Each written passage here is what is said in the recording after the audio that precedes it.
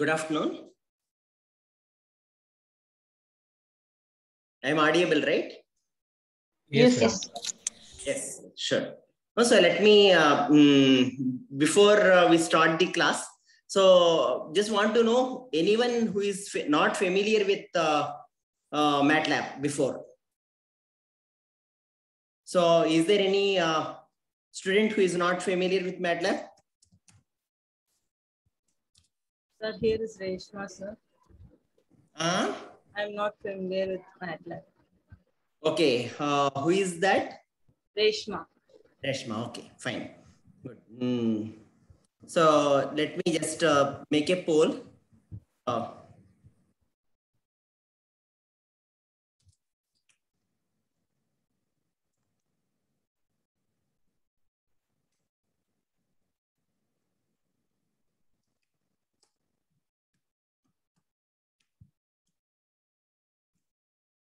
I'm just making a small polling, so it will come to you. You can enter. I'm asking whether you're familiar or just introduced or hmm, no idea. So far on the MATLAB.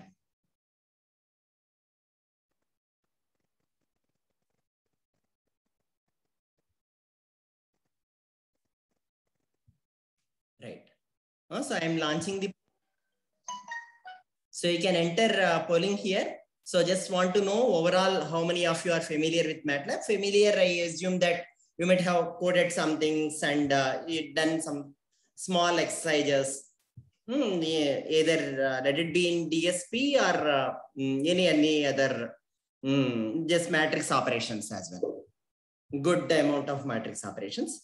Just introduced, you can consider if you have uh, if you know the platform and you know some commands there okay how to do little bit of only matrix operations. Hmm, no idea is uh, anyway you know. I suggest each of you to enter quickly that. Hmm, so that actually we will have the overall assessment of the class on the familiarity of the matlab okay uh, so i see still few students to enter. Please enter it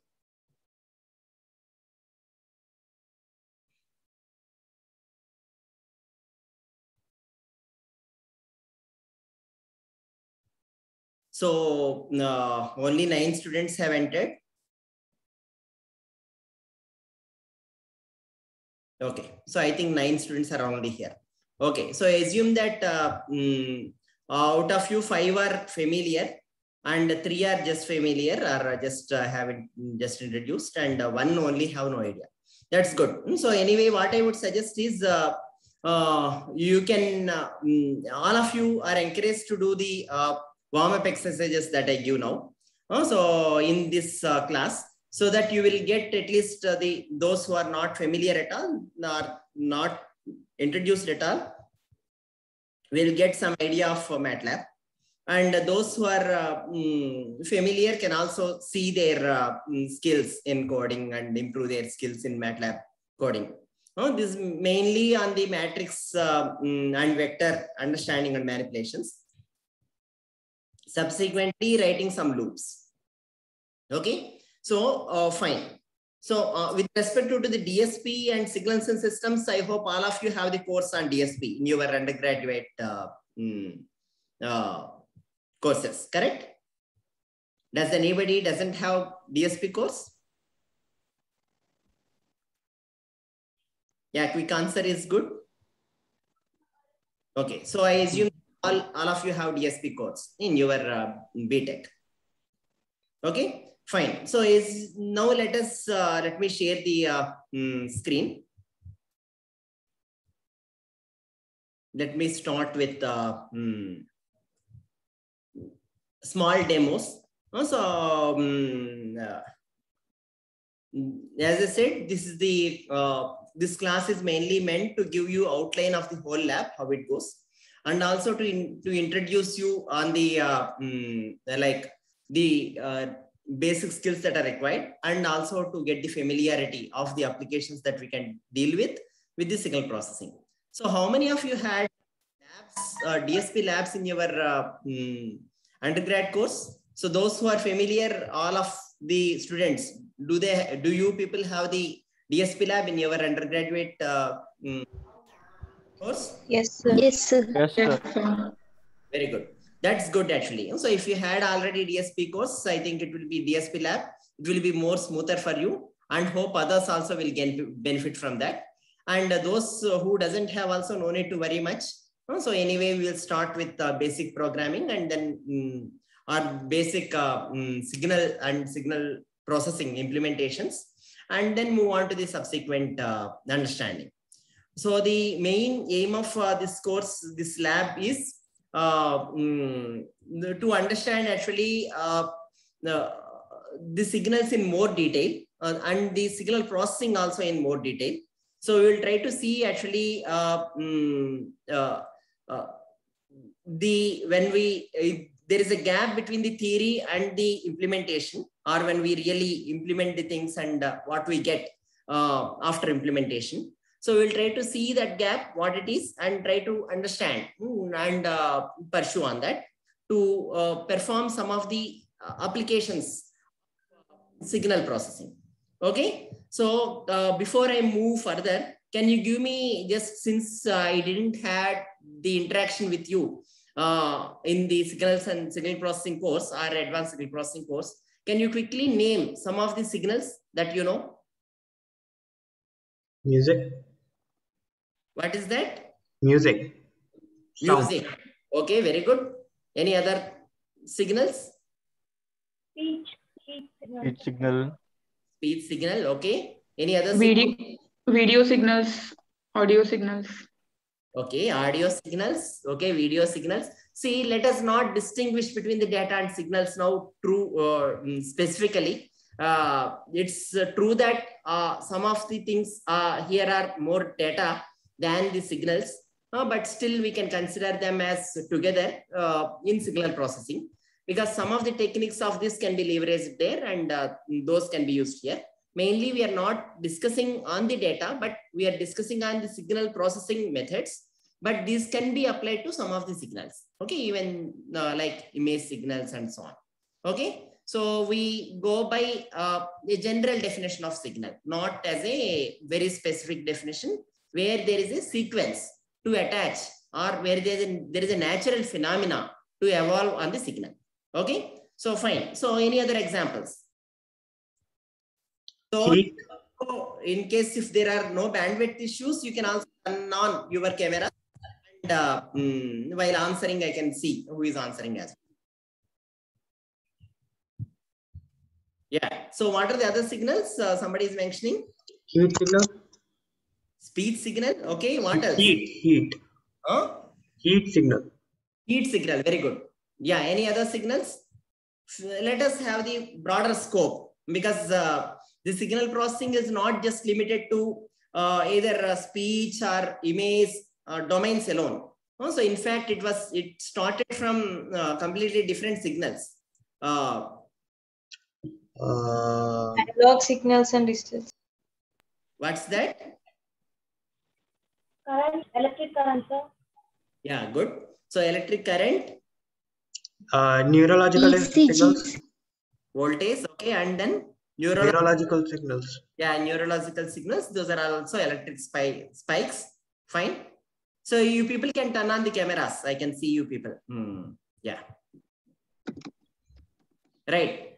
What are the other signals? You can still tell few more signals. Sonar, What is that? sonar and radar signals. Right. Radar and sonar signals. Okay. What else? ECG signal. Huh? Medical. Medical signal, EEG, ECG signals. What else? Sir, thunder is also signal, sir. Impulse signal. What is that? Thunder. Not able to hear?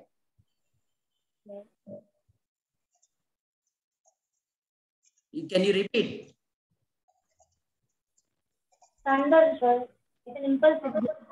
Impulse signal. Okay. So uh, fine. So far, what you have discussed, say, other than the simple signal, uh, all are some signals which comes in uh, either through a natural phenomena or which are uh, some like uh, uh, more real in the sense that we capture them for analysis and subsequent inference.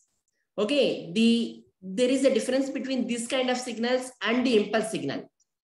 Can one of you tell?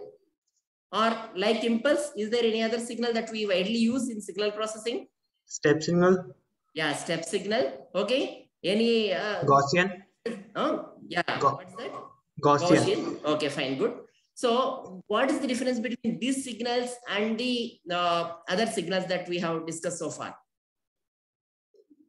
What do you think is the difference between them?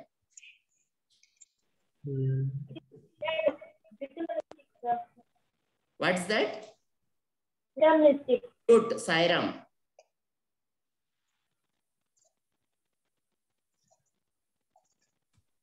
Yeah, you're still in mute. basic signals.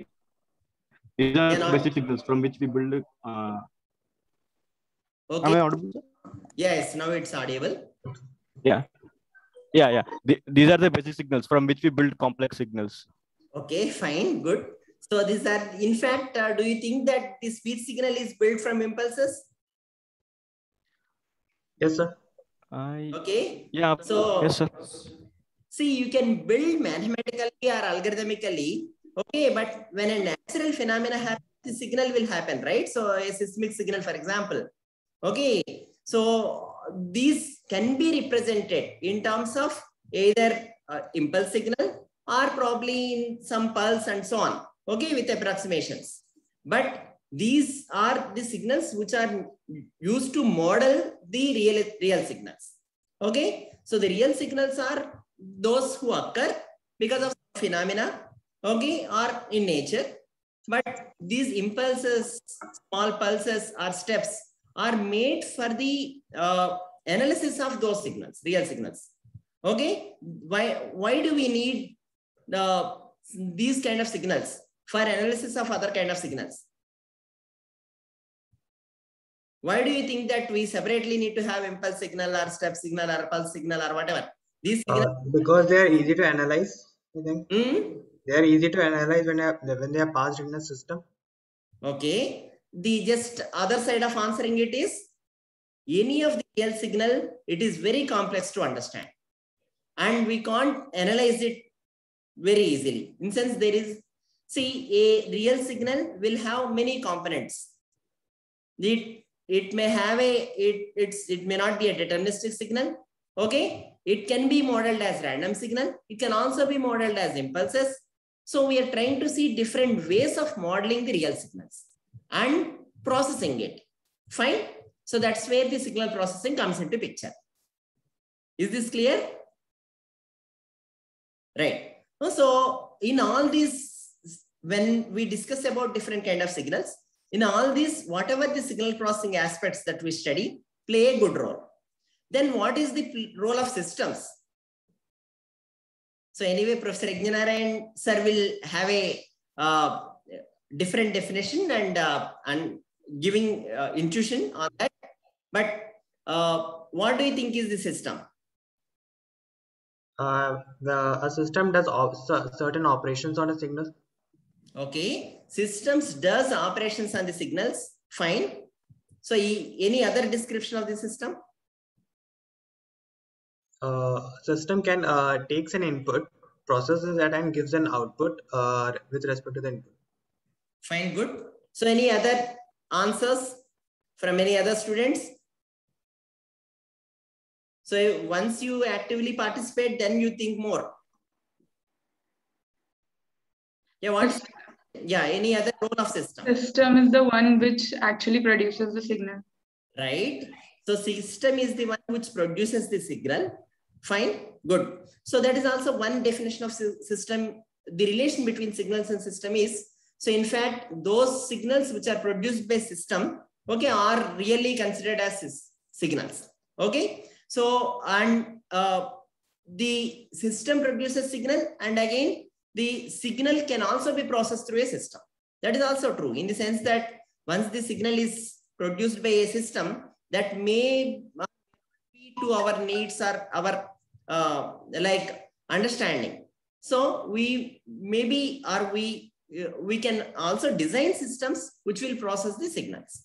Okay, but the signals can also be in fact produced by systems. Fine. So these both are interrelated in that way. Okay. So without system, signal may not be there. Without signal, uh, that signal comes only with the system. Right? So now let us just go through some of the uh, basic operations in signal processing or signals and systems that you have studied. So I will just try to show some of the demos here. Okay, and keep asking you some questions uh, and you can try to uh, answer me.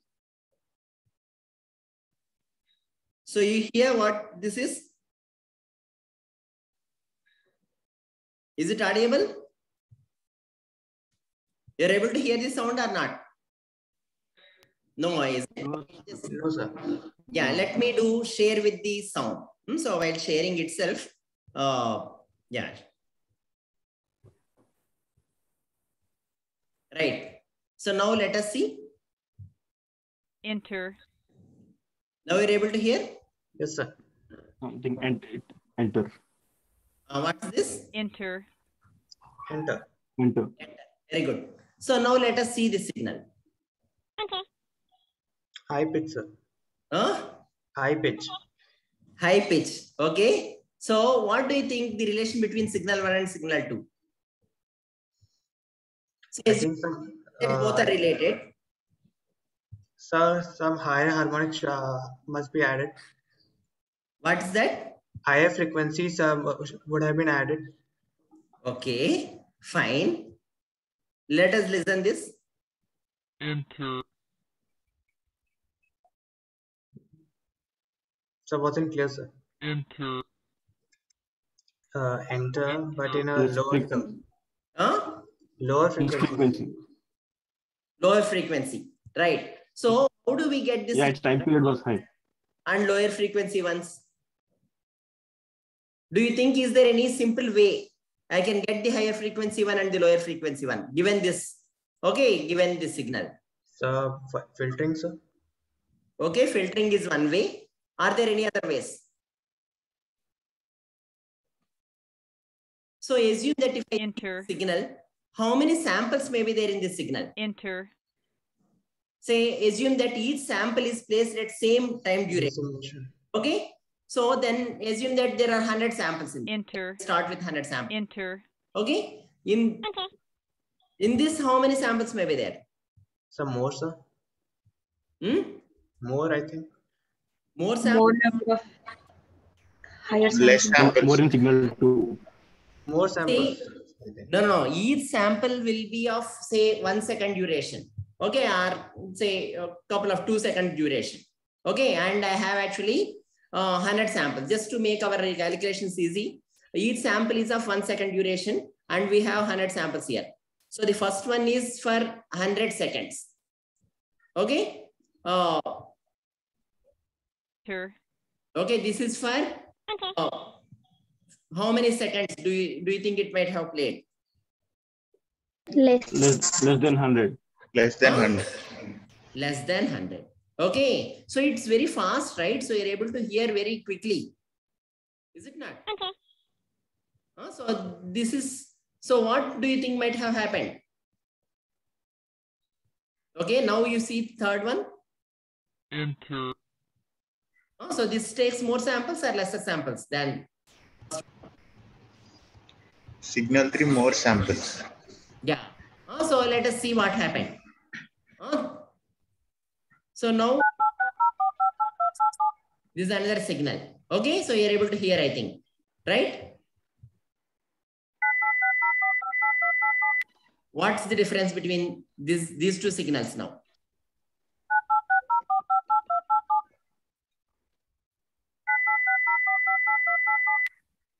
Hmm? What do you think is the difference between these two signals? Some other signal is added. Noise. Noise is added. Fine. What kind of noise do you think it might have added? Constant. Constant Hmm? noise. What's that noise? Constant. noise. Constant. Okay. So any other choices? Constant noise, fine. Any other choice? Uniform. Uniform, okay. Uniform means at regular intervals. Okay. So what other? So constant means uniform only, right? So you're thinking of something else. Gaussian noise. Gaussian noise. Okay. So now you listen to this. And then listen to this. Both are same or different? Uh, so among these three, what might have happened from here to here? So assume that if I say that I anyway some noise is added, I we got this, and some processing has happened, and I got this from this to here. Okay, so what processing? Removal of noise. Removal of noise. Very good. So now the question is, if I add a uniform noise on the signal, how do you think I can remove it? By subtracting the same noise. Okay, by subtracting the noise. Okay, so let us see that. Okay, if that is the case, let us listen this. enter,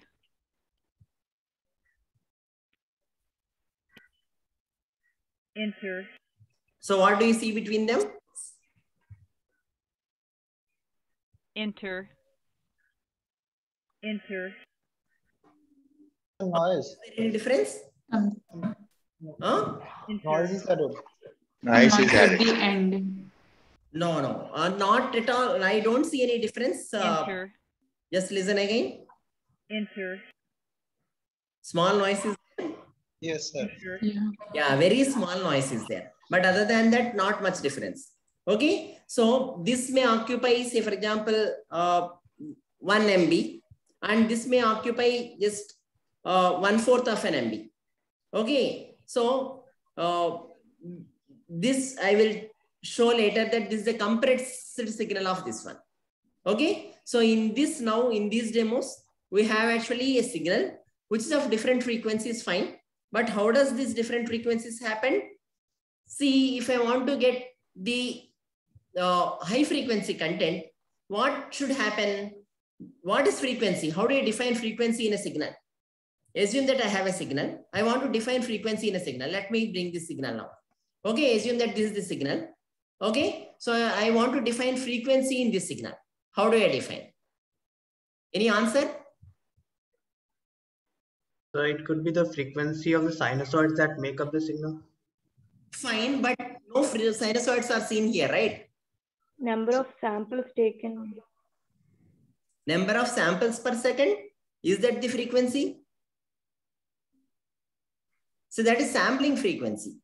Okay, I, how many, uh, at what time duration I do sample the signal, analog signal. That is the sampling frequency. How do I frequency of a any discrete signal now? Assume that since we are looking at discrete signal. In time period formats. Okay, let me, uh, what's that?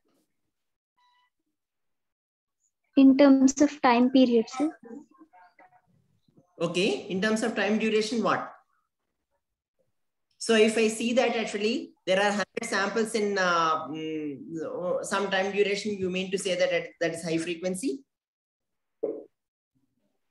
Okay, that's if you have an analog signal and a digital signal together, okay, then you want to discuss about the frequency. Okay, then we can relate to, in fact, sampling frequency. We are taking more samples per second or less samples per, per second. Okay, so that may uh, differ. That gives the uh, like analogy in terms of uh, some analogy in terms of frequency, but that's not the main thing that we are discussing now. The frequency of a, say if I have a set of samples, I want to tell with, why do you say that the signal is of high frequency or low frequency? Okay, a discrete signal, Sam, signal is only with us. And that discrete signal, we want to tell whether it is of low frequency or high frequency. How do I tell? And even basic to that, how do I define frequency of a discrete signal? That is the question now. Assume that discretization has happened already. Or discretization has happened. Any answer? Actually, How far, how this fast can the be- signal? How much fast the signal is varying. How fast the signal is varying. Okay, very good. Okay, so can you give a little more uh, mm, clarity on that? How fast signal is varying? Fine. So how do I quantify it? That's the next question.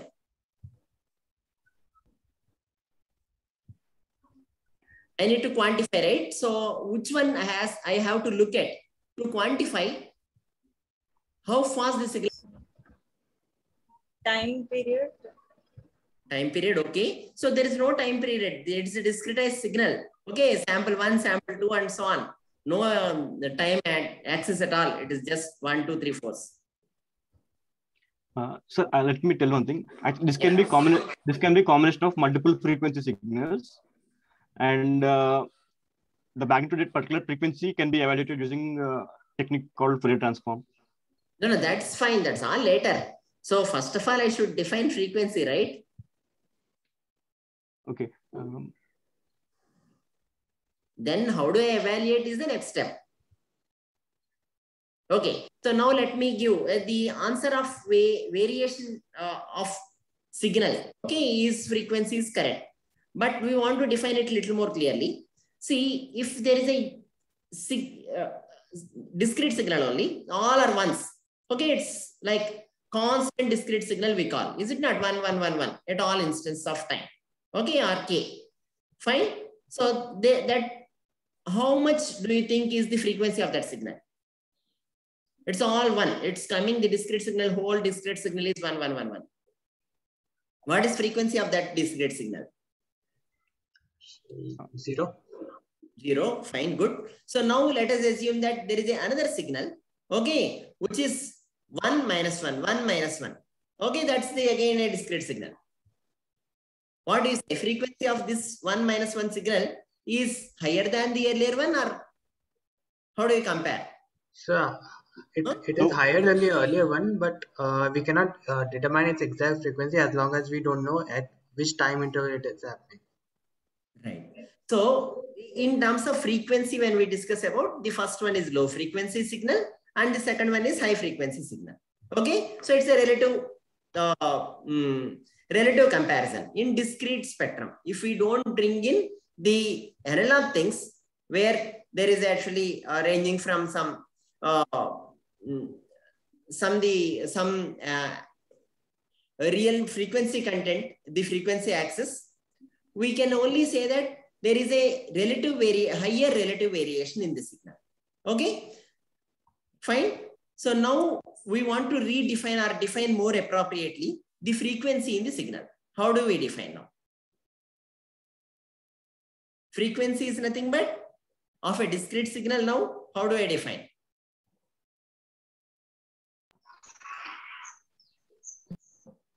The closeness of the lines.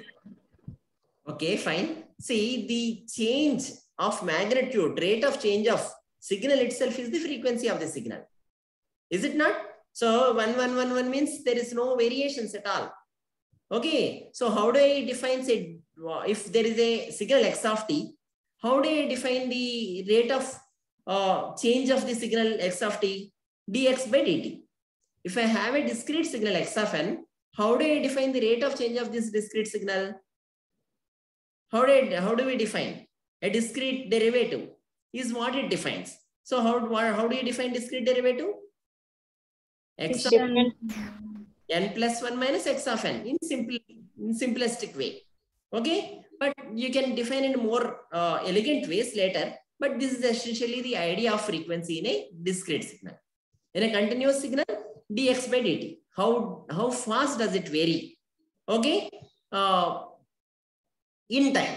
Okay, there it is discrete continuous time. So dx by dt. So if it varies very fast, we say that it is say impulse signal is very high frequency. Okay, so because uh, it just varies and drops down. Okay, so like that. So we can say that the frequency is related to the rate of change of vary of the signal. Fine. So now the say now the question is say if this is the signal also we, you can do you, you can anyway generate uh, you can record any of the audio signals or you can take any of the signals and do whatever transformations on the signals and see what, see how they look like.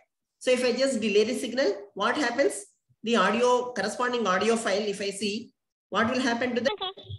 It will just delay or it will, uh, it will delay. Now, this is what you have seen in the first experiments. First, so you can see this is the signal and this is what high frequency signal as you have seen as. So what is the variation between this signal and this signal? What is the transformation or what is the change that is applied to this signal to get the second signal? Now can one of you tell? Is it not clear what the change from, how do you get this signal from this? Visual Time, com- get them? time compression. time compression fine okay so more explicitly i just took the alternative samples here that's all okay so i just took the alternative samples and put here fine the same signal now has appeared for in terms of say if we consider in terms of time compression has happened or the variation now has the whatever it was changing smoothly or slowly during uh, previous uh, time now it, it is moving quite little more random quickly. Okay. So that rate of change has increased that we are calling it as high frequency. But however, what, how we exactly did it for getting this is upsampling. Oh, we can also call it as upsampling. That is take alternative samples and represent the sam, sorry, downsampling. So we take the alternative samples and represent the signal by lesser number of samples. Okay, previously we may be representing the same signal with uh, say 100 samples. Now the same analog signal is represented with 50 samples. Okay, so the sampling period will increase. We are taking the uh, uh, previously if we are sampling at one second, now we are sampling at two seconds. For each two seconds, one sample. Okay, so like that, if you take the number of samples will reduce, and the, the we are it is appearing as high frequency signal. Is this clear? And such operation you can easily perform in MATLAB. Yeah, any questions now? This is decimation.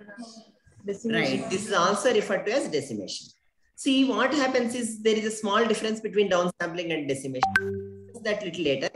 Okay, so this is essentially uh, mm, the downsampling. So we also can do, need to do filtering now and then uh, to get into the uh, mm, uh, decimation. Uh, So this is what, ha- this is the other signal that you have seen. enter,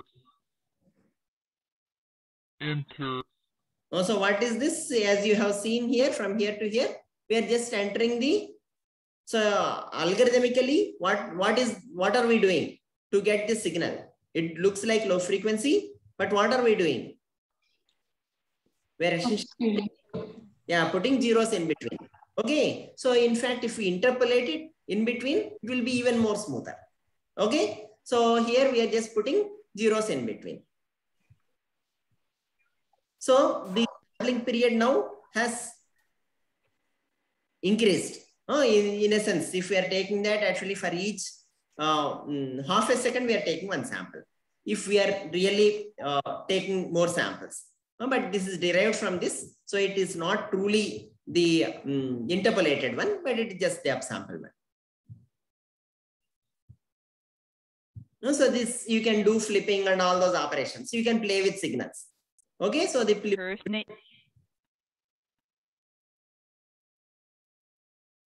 name. Uh, so we can't make much uh, out of this. Uh, so fine. So now the uh, see in communications, you might have seen uh, amplitude modulation and so on, right? So there also we are essentially playing with the signals. Now let us see what's happening in this uh, amplitude modulation. So you can easily understand, I think, right? This have you seen any time before? See, what do we do now? Say, assume that I have, uh, there is a uh, message signal and there is a carrier signal.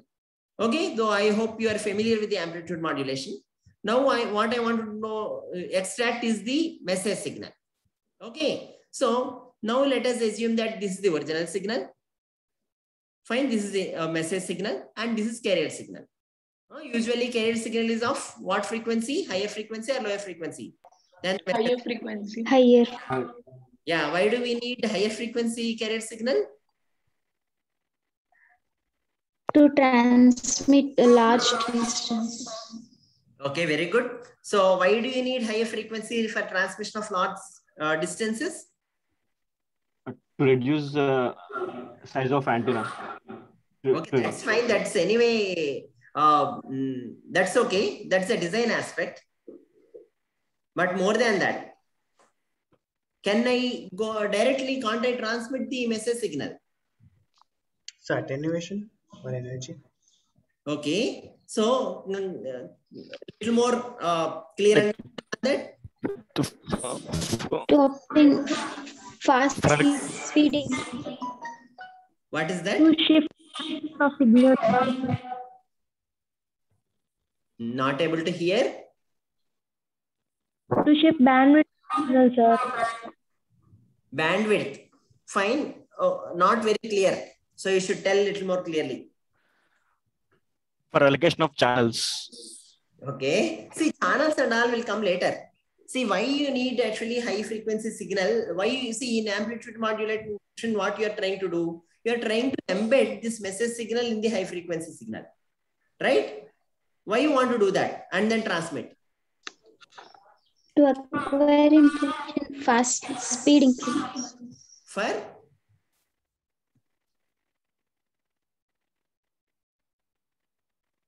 not very clear.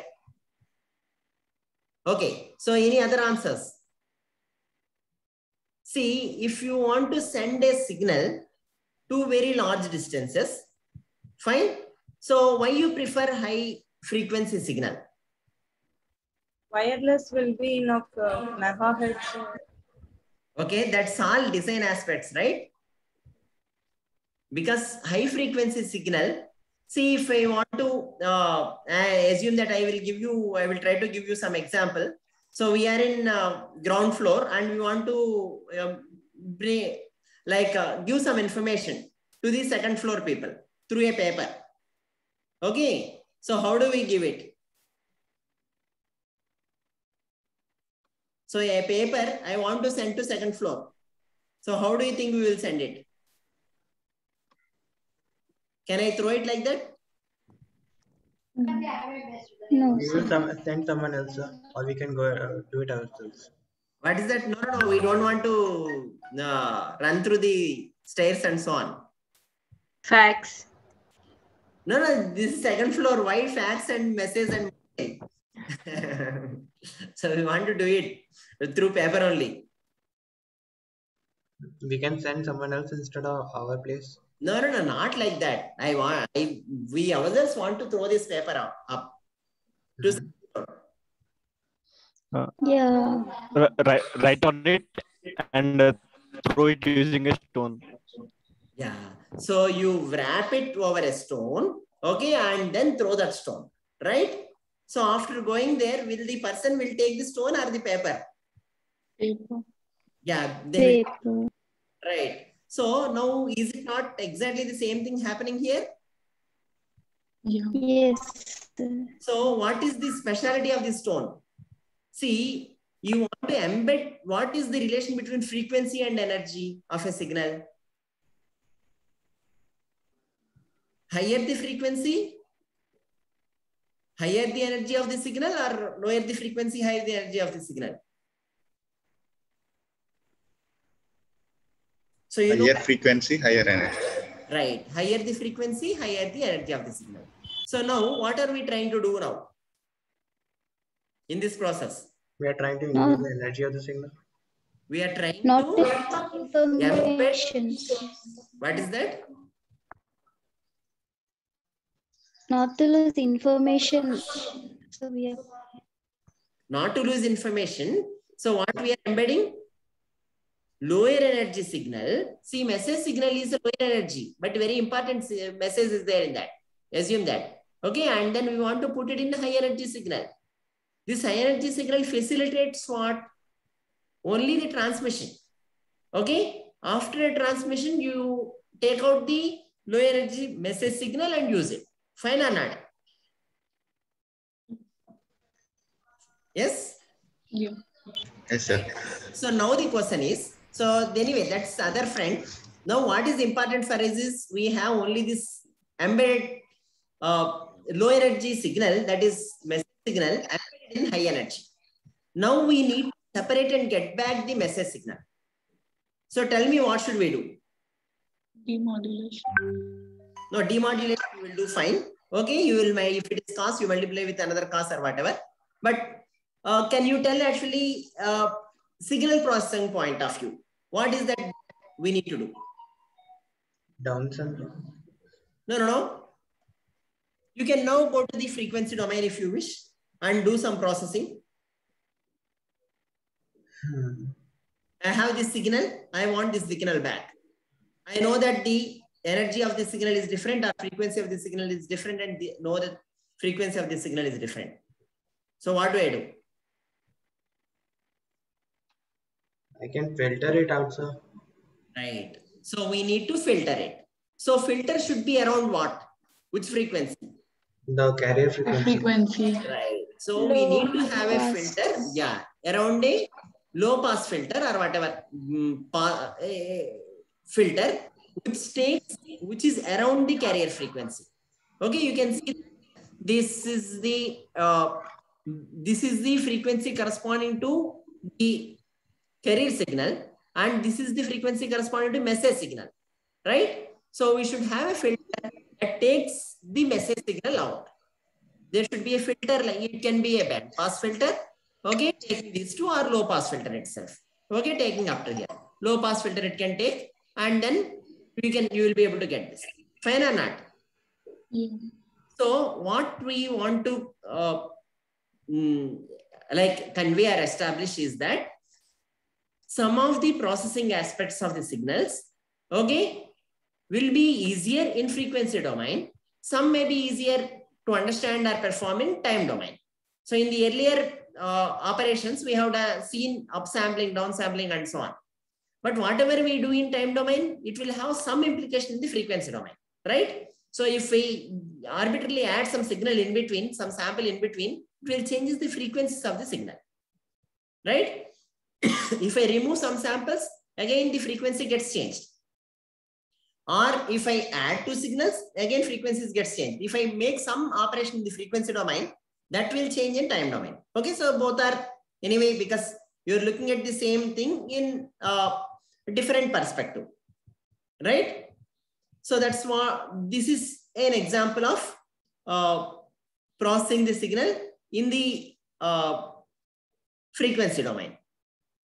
Okay, some of your uh,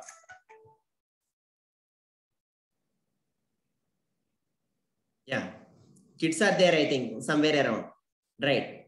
So fine. So now what's happening in this signal? So let us see the signal.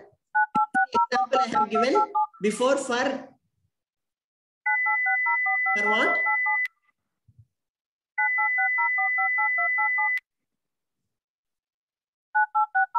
Yeah. So this is the example that we discussed for what? What happened from this signal to signal? This signal. What is the change that happened from this signal to this signal? Noise. Constant Noise noise. is getting added. Noise got added. So some of the students have mentioned that it is uniform noise and uh, constant noise and so on. Now, can you give me a little more better picture of what noise it is? Look at the time domain plots. Okay, this is the original signal. And this is the frequency. This is also time domain signal of the signal. Okay, and this is the frequency domain signal, frequency domain plot of the noisy signal. Okay, now will you be able to tell? Added in the noisy signal. Got added. Hmm? Constant signal, constant noise See, signal.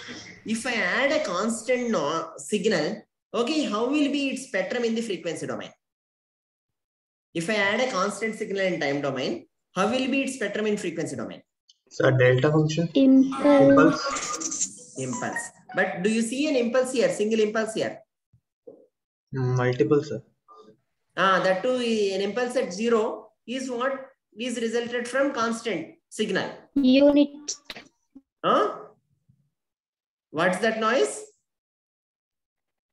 White Unit step. Be little more clear. What kind of noise? DC noise, sir.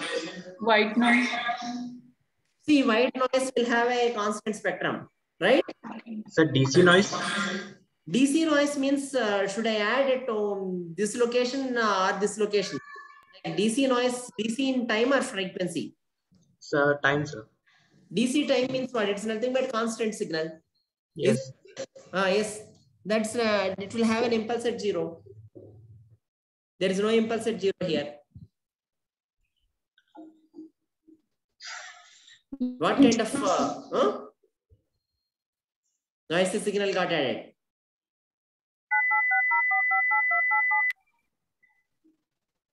No answer? Now you look. Oh. So we have got back the denoised signal. What do you think we have done for getting back the denoised signal? This is the High frequency noise. Uh, high frequency noise. High frequency. What is that noise? Uh, like uh, high frequency noise means uh, you give me a little more description. See, which will have two impulses in the frequency domain at 2000 minus The 2000. sinusoids. Yeah, it's sinusoidal noise. Okay, we have added sinusoidal. Gaussian. No, no, no, it's not Gaussian. See, Gaussian in time domain is Gaussian in frequency domain. Okay, so Gaussian means what? Is it Gaussian distributed or Gaussian? Both are different. Okay, Gaussian distributed signal is different than Gaussian signal. You got the point or not? Hmm? Yes, sir. Yes. No, so Gaussian signal means, uh, uh, so let me just try here. So you're able to see the board? Yes, sir. Yeah, so Gaussian signal means the signal itself is like this. Okay, this is Gaussian signal. Fine, this may be somewhere if we consider, I can consider zero here or even zero here. Okay, and this is can be t or whatever. Hmm, So okay. So this is x of t. Fine, this is the Gaussian signal. Fine, Gaussian distributed signal. How does it look like? If it is Gaussian distributed signal, you're able to see that also. I think, right? Again, zero here. It can be t. Okay, it can be. So this is Gaussian distributed. This can be Gaussian distributed signal. Yes or no? Hmm. Yes, sir. Oh yeah. What is the difference between this and this? This is also x of t. Sir, one is talking about probability and other is talking about time. Right, right. Oh, so one is telling about the frequency of occurrence of the particular magnitude. Okay, so the that is Gaussian. Fine. That is the probability of a signal taking a particular value is Gaussian. Okay, our PDF of a signal is Gaussian. Other one is signal itself is Gaussian. Both are different. Um, But anyway, Gaussian signal will have actually a, uh, a spectrum which is also Gaussian in fre- frequency domain. And on the other hand, Gaussian distributed signal will have a, it can be white. White Gaussian, you people are uh, might have heard many times, right? Also, it may have white spectrum itself. The signal is Gaussianly, randomly varying with Gaussian distribution, but it can be white. Fine. So anyway, understand them better. Uh, and subsequently, I hope you will develop a few of the, you will simulate some of the signals and understand better. But now the question is, uh, what kind of signal is this? Uh, this is referred, finally we have arrived at what kind of signal is added to this? Sinusoid. Sinusoid. Okay, it can only be sinusoid. But why is it looking like a constant signal? And even if you see here, okay, it is uh, looking like a constant signal rather than sinusoid. Sir, resolutions are, I mean, it's high frequency. High so we cannot- frequency. That's very correct. Now, compared to the signal frequency, the actual signal frequency, this the Gauss sinusoid Noise. frequency. Okay, because sinusoid, see in small duration. See, it is looking like a um, mess here. Why the signal variations I'm not able to see?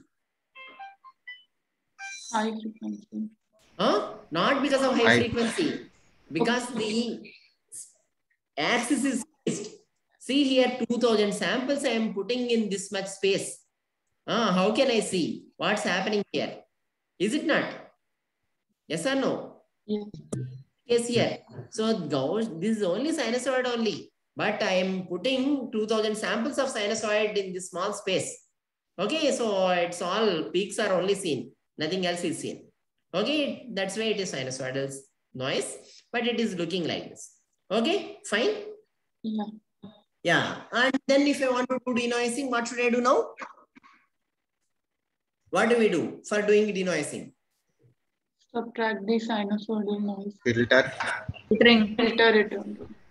Yeah, filter it. So we will see in this uh, mainly in this lab how to uh, like uh, how to visualize several several signals. Okay, how to perform some basic operations on the signals, uh, and uh, you will also study or see the implication of convolution and some pro- understanding the properties of signals and systems together. And we will also see performing some operations like filters, designing filter and applying filter. And this is essentially the outline of the uh, signal processing lab that you do. Fine. So we will give a little more examples in other domains. Uh, so this is in image processing. So can you tell now what's happened? This is the original signal. In fact, this is the one of the first problems uh, of uh, image processing. So satellite images used to come and uh, people want to uh, clean the satellite images. Because of the sensors of that time, we are only able to get this kind of images in on ground. Uh, so this is a clean image. What do you think? Uh, so how do you think uh, people are able to get this much clean image from this image? Processing of an image. Adding more samples. Fine, but it is not adding more samples from where they will bring and add samples. It is From from, neighbor, neighboring pixel. But there is no samples in the neighboring pixels, right? So you keep see that kind of processing method won't give this much uh, very nice image. There should be something phenomena that's happening actually, which is quite easy or so not. So, maybe what's happening is that whatever system is capturing the image, Hmm. whatever noise it has produced, they are uh, replicating the noise and removing it. Yeah, fine. Fine. Give you more clue, look at this. This is the spectrum or two-dimensional frequency spectrum, okay, of this image. Two-dimensional Fourier transform you can think of. Okay, since it is all discrete, discrete Fourier transform, two-dimensional discrete Fourier transform of this. So now, yeah, let me, let you people think, okay, how do you get this? Now you think.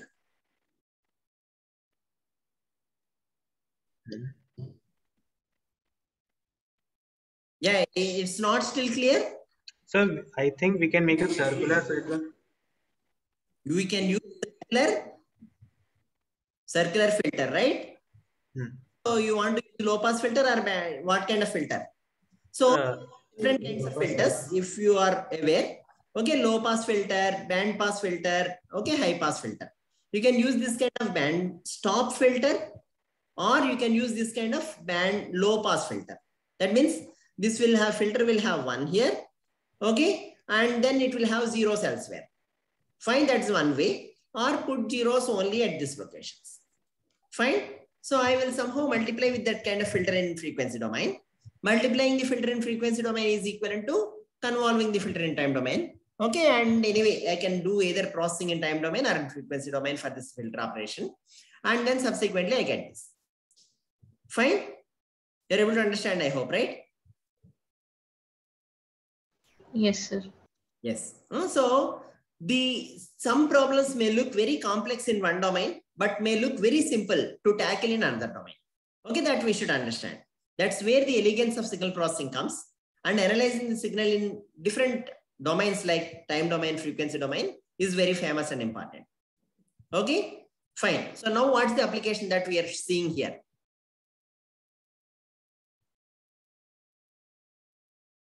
This is the noisy image. Okay. And we want to remove the noise. So here for removing the noise, simply you can convolve with an averaging filter. Okay. So averaging filter means what? You put one by three, one by three everywhere. Okay. And then multiply and uh, the this is in two dimensions. So the filter will also be in two dimensions. Okay. So if it is one dimensional signal, the convolution will be done with one averaging filter, one by three, one by three, one by three. Okay. Moving average kind of filter. Okay. Is this clear or not? If you have a signal, okay, and if you have noise in the signal, if I ask you to remove it, okay, what will you do to remove the noise in the signal? Any idea? Huh? Filtering techniques. Yeah, I want to do it in time domain itself. And any easy method to do this? Assume that in my signal, somewhere spikes are there. Okay, remaining all signal is fine. But in here are there, there are some spikes. Suggestions on how do I remove it? So thresholding. Fine, but I don't know whether the signal is also there here. So there may be some signal content also here. Smoothing it out by using averages. Smoothing it out by using Averages. averages. But uh, how do I pose that problem as smoothing it as averages? Can you tell little more clear, like little more on the signal processing front? How do I fix that problem? Window average. Yeah, I will keep taking windows. Okay, in that I will average and put the value at the center, right? And again, I do the same here. I do the same here everywhere. Okay, so that is equivalent to convolving with, okay, a filter of 1 by 3, 1 by 3, 1 by 3 kind of thing everywhere. Is it correct or not? Yes, sir. No, so that's referred to as so convolution operation with the appropriate kernel essentially does average. Fine, you might have seen actually moving average system and so on. They, that such system will result in uh, this denoising. Okay, whenever there are this kind of noise, and even there are better filters. Say, for example, I can take this three samples or five samples. I put the median in between. Okay, so in this case, most of the times median will uh, take uh, in the median. If I take the me median means I take I sort them. Okay, and then put the middle value of that sorting in the uh, uh, location where I am. Okay, so that is referred to as median filter. So that essentially what it does, it will take the either positive or negative spikes into the top or bottom. And thus the median mostly will be free from the spikes or noise. And hence you get the denoised signal. Fine, is this clear? If there are spikes which are actually positive and negative nature, that is referred to as salt and pepper noise in images. What we do is median filtering. Why median filtering? Okay, that's also at every location we are applying the same operation that is referred to as filtering in spatial domain. Okay, so convolution with average filter is filtering here. Fine. You can also perform applications uh, mm, tasks like median also in place of convolution. Okay, so this is just to give you an idea of different applications that demand signal processing. Okay, fine. So let us now uh, see the last uh, e- example. enter, enter, As I said, both looks almost similar, but the number of samples to represent the second second signal will be reasonably half or one fourth the original one. The reason being, if you see here in the frequency spectrum, this is the frequency spectrum of compressor signal. This is the frequency spectrum of the original signal. Do you notice any difference between these two? This is original signal, this is compressor signal. Do you notice? High frequency is removed. Okay. Any other answer? High frequencies are not removed, right? So high frequencies are here, even here. High frequency means what? These are all high frequencies. This is zero frequency, low frequency. Any other answer now? What is the difference between these two? Spikes. Spikes are also here. You can see spikes here. Noise. Yeah, Thresholding. Right.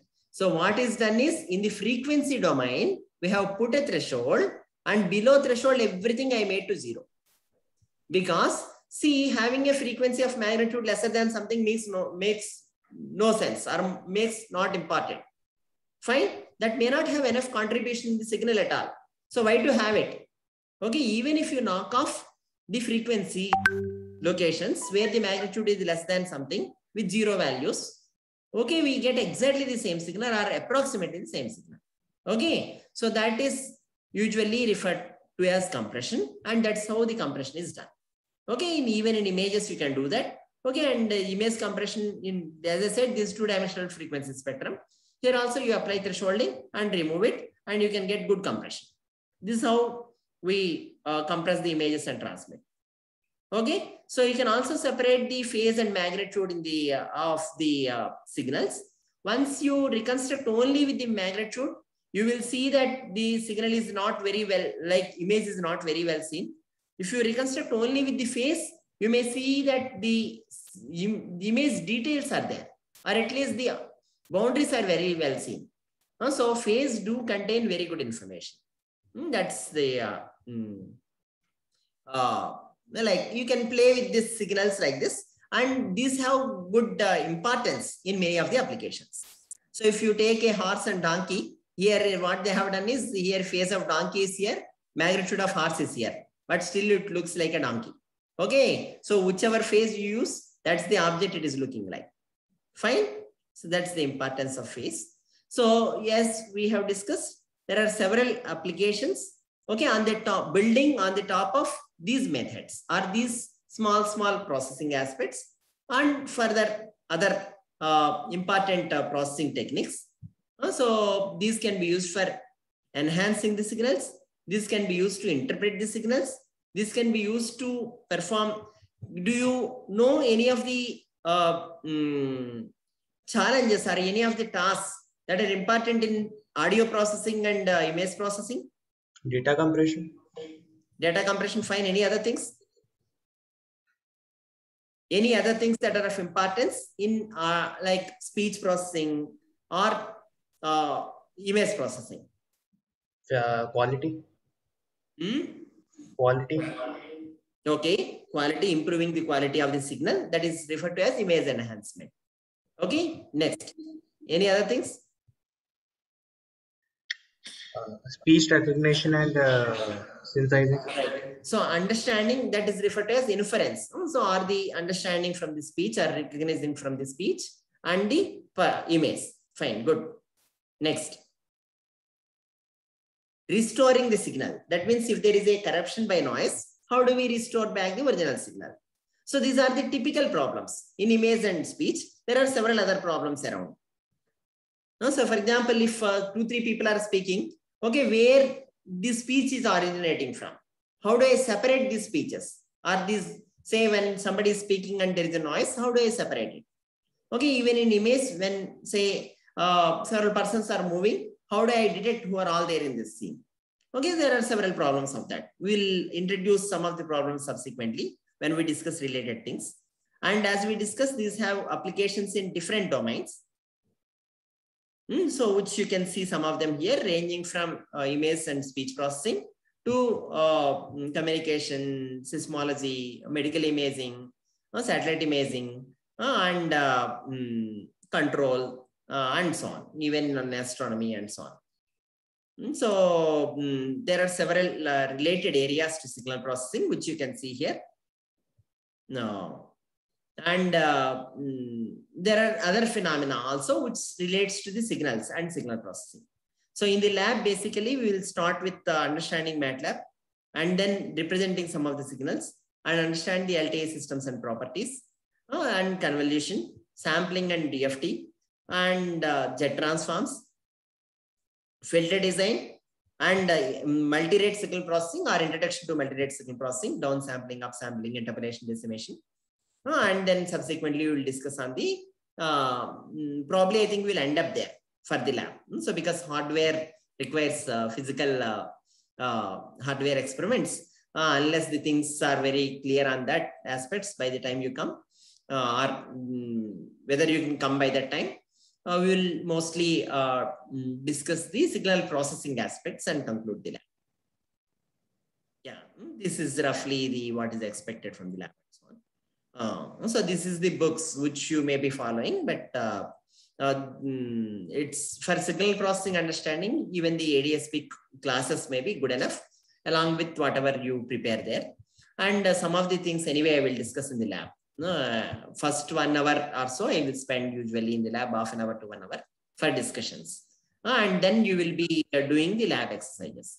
You can also download some books from MATLAB, which are online, and keep it with you to understand MATLAB better. And uh, by doing this, uh, mm, there are some good number of video lectures for uh, mm, uh, DSP in general. And doing the warm-up exercises that we do in this lab also will help you to learn better MATLAB and get started with signal processing lab, ADSP lab. Okay, and roughly I'm thinking of this is the evaluation criteria. So 30% uh, for uh, mm, how uh, you complete or perform in the lab. Mm, that is uh, completing the lab assignment, lab exercise, and submitting the report. Uh, together, report is also very important just to, because otherwise, uh, unless otherwise it is very difficult to assess you what you have done. So um, this is for 30%. And we will conduct uh, Vivas uh, alternatively mostly. Uh, for every two weeks, one lab Viva we may conduct. So that is for 20% of marks. So the lab Viva can be in terms of uh, Moodle quizzes or something like that, or Google Classroom quizzes. And then there is a mini project associated with the uh, course that that's for uh, you know, 20%. And then uh, final, by the time we have the actually final exam, so we'll decide whether should we have a separate final exam or uh, can it be merged with some of the other aspects. Hmm, So for tentatively, I have put final exam also, Y and Y also 30%. Final exam means anyway, you will be writing online and we will be evaluating it. Hmm, So like that. So you will be executing and demonstrating something hmm, in the stipulated time. Uh, so this is what uh, I'm planning for lab evaluation. So now if you have any questions uh, or uh, uh, clarifications, you can discuss. You can discuss. Sir, what would the report contain? Yeah, report you can uh, mm, start with the what what's given exercise uh, problem, and then you can uh, mm, uh, indicate some of the steps you have taken, the intermediate results to arrive at the final result, if there is some final result that is required, and then the final result in terms of the graphs. Each graph or whatever you give should be with labeled and very well, uh, it's self uh, descriptive. And you can write in between in your words what are the inferences, uh, what you might have understood from that, and so on. So it is results, inferences, and intermediate results, and any equations are really related uh, text mm, to make uh, your uh, mm, exercise clear mm, to the uh, evaluators and readers. Yeah, any other questions? Is this clear?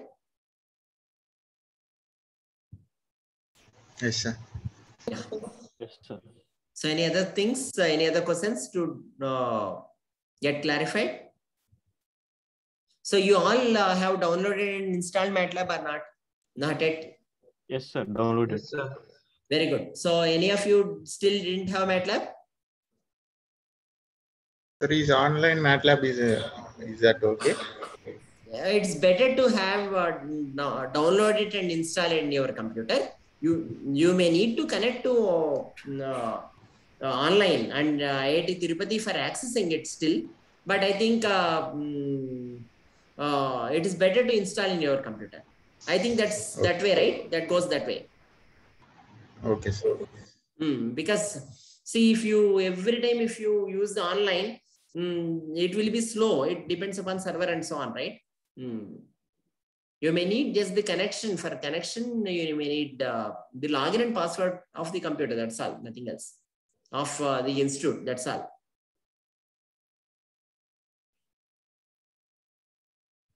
Correct or not? So some of the students have started using the installed uh, MATLAB. Yes, sir.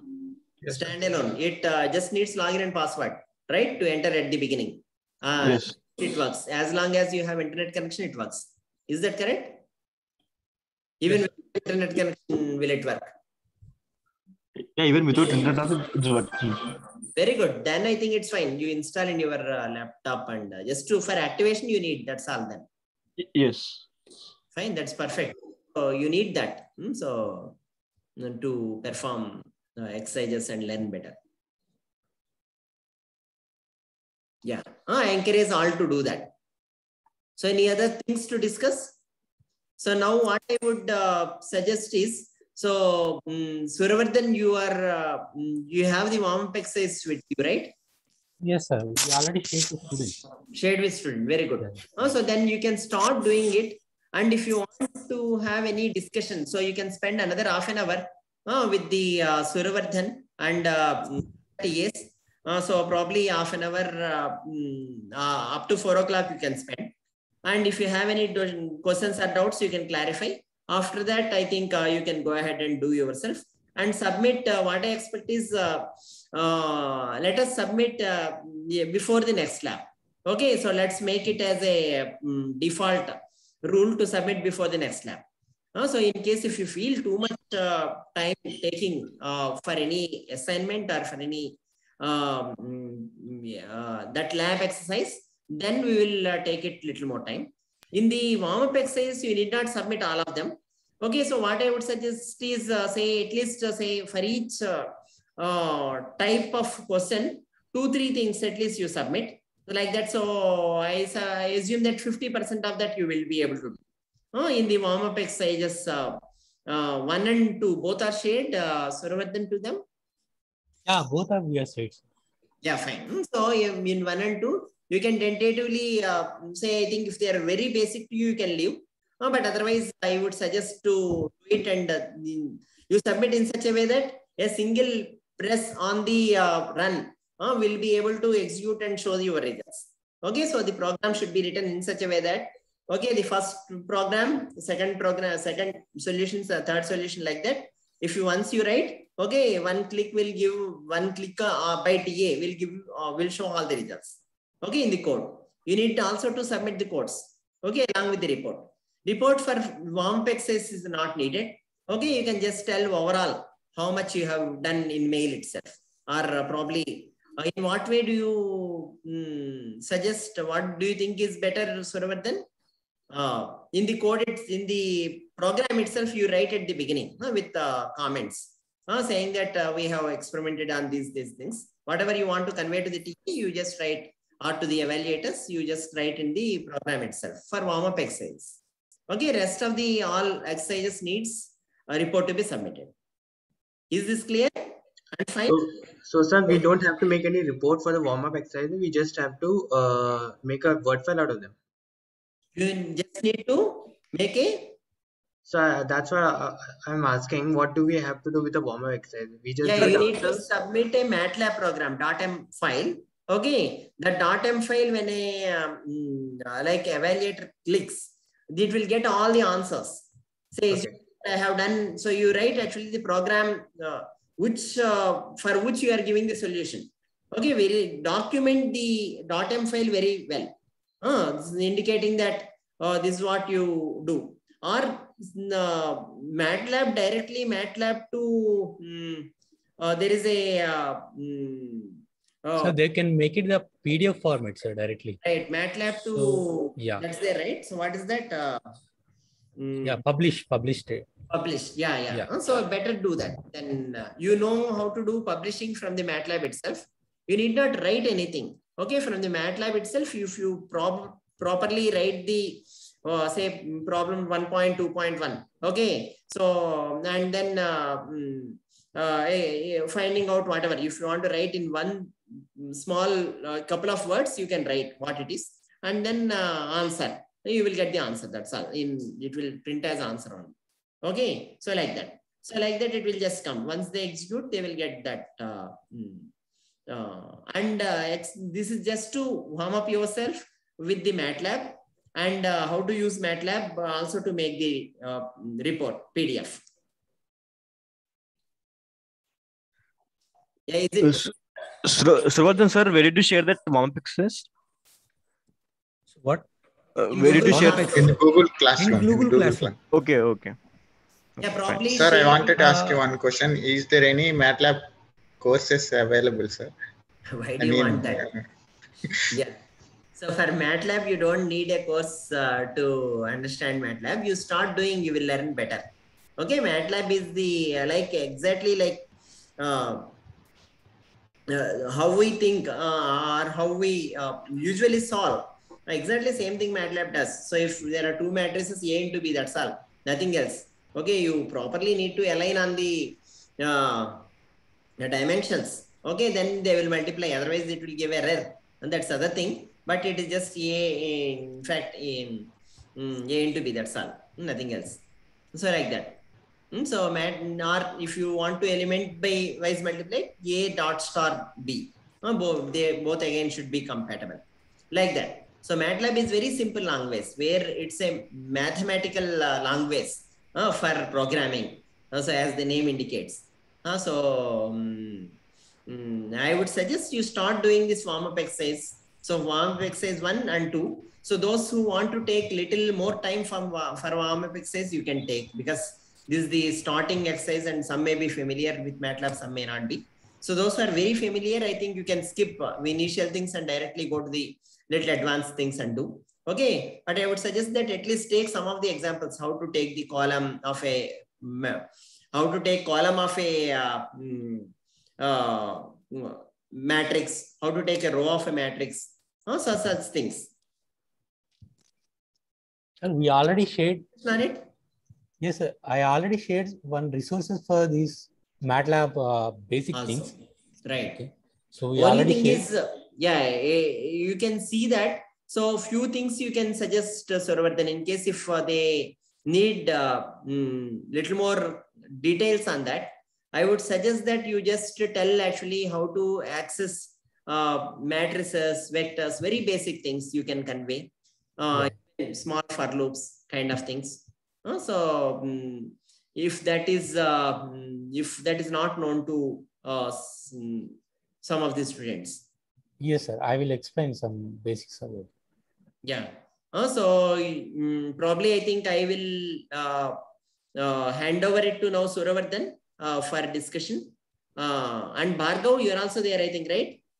Yeah, is there, sir. Bhargav and Yes, sir. both are there. Yeah. So Hari, what I would suggest is next step words programs, especially you also prepare because I may, as you know, I descriptively only discuss the things. Uh, I will not go to the program and discuss the things unless it is very much required. Uh, from my side, you uh, also prepare and uh, try to uh, help them to address the, uh, mm, to make them to solve during the lab hours, not to the extent possible. Yes, sir. Hmm, yeah. Okay, sir. So you want me to discuss or you will be able to discuss? So Suravardhan on the uh, mm, basics of uh, accessing uh, vectors, uh, I will explain, sir. Not issue. rows, columns, uh, and matrix multiplications, uh, and uh, matrix vector multiplications, uh, mm, for loops, small for loops. Uh, yes, sir. I will show how to find out these Yeah, yeah. things. That's good enough. So You where can show. can get it, these sources, I will Yeah, explain right. that. Such things you can tell. Right. Yeah, That's yeah. good. So you give them the exposure where to look for. Yeah, and Uh, also to make the uh, report, how to make the report, Yeah, uh, sure. publish statement uh, somewhere. Okay, we will right. explain some very, uh, very basics. Yeah, fine. Good. I think that's good enough. So within half an hour, we can finish it. Is Sure, uh, sure. no Very good. Good, good. Hmm, that's fine. Uh, then uh, thanks to all. So I will be leaving. Uh, and Suravardhan for uh, take over for another half an hour, and then you can subsequently perform the hmm, lab exercises yourself at home. Yeah, anything else to discuss from student size side? Hope all your classes are going fine. Yeah, anyway, it's just Yes, uh, anyway, you can convey me in case if there is anything that uh, you want uh, to know subsequently. Yeah. Hmm, fine then, bye. Bye. Sir, Bye. make me, sir, Yeah, make yeah, me I'm as making- host, yeah. sir. Right, Yeah. right. Yes, sure, sure.